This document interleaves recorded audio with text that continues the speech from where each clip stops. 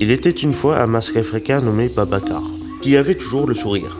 Mais ce qu'il ne voyait pas au premier regard, en coulisses le faisait souffrir. Ce masque avait une plume pour voler, mais il n'en avait pas le mode d'emploi. Au lieu de quoi, il préférait la fumée pour combler son désarroi. Un jour, cette plume lui compta. Avant d'apprendre à voler, il faut te raser, car le bois de ta part t'empêche de décoller. Il le fit maladroitement et finit par s'apprécier.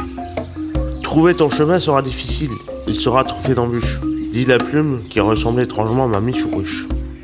Ce masque, toujours discret, voire invisible, décida de se montrer pour vaincre sa timidité. Tout le monde rigolait de lui, mais sa fidèle plume le rassurait. Oui, les gens ne te trouvent pas beau, mais toi tu te plais.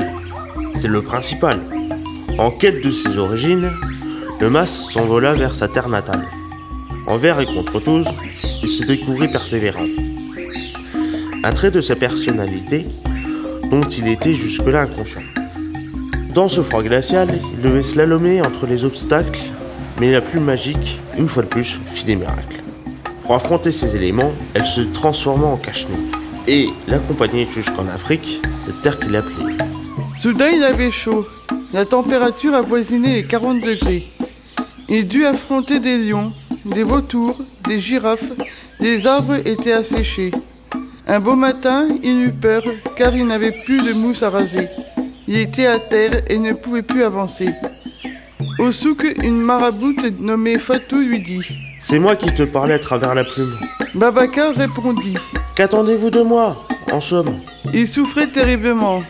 À ce moment, il se sentait mourir. Babacar voyait tout son voyage défiler. Il se sentait partir. Méfiant, il essaya de faire face à la maraboute, mais affaibli, il se dit Je vais accepter ton aide. Jour et nuit, devant un feu de camp, ils apprirent à se connaître. Peu à peu, une relation d'amitié s'installa entre eux. Ils se demandèrent comment se créer un but en commun dans la vie. Avec le temps, la plume devenait muette. Son esprit se remplissait dans la maraboute, comme un transfert en Wi-Fi. Un jour, ils entreprirent un voyage pour aider la population. Du nord au sud, de l'est à l'ouest, il était venu le temps de l'émancipation. Après dix ans, le masque était devenu un homme. La maraboute, elle, une vieille femme respectable. Ils décidèrent de veiller l'un sur l'autre sur l'île de Madagascar, leur dernière étape.